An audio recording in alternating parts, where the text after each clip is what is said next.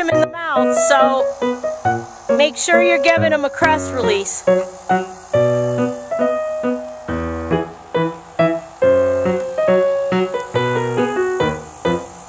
There you go.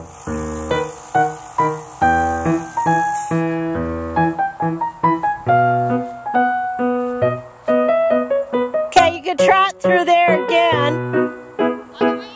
Yeah, you could go either way. If he jumps the little first one.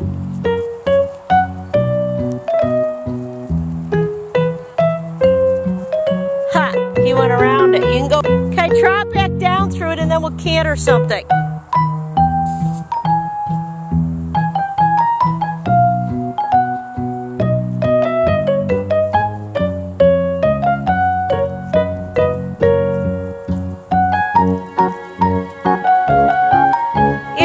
Set more for Miss Karma's length of, uh, of stride. Okay, walk second.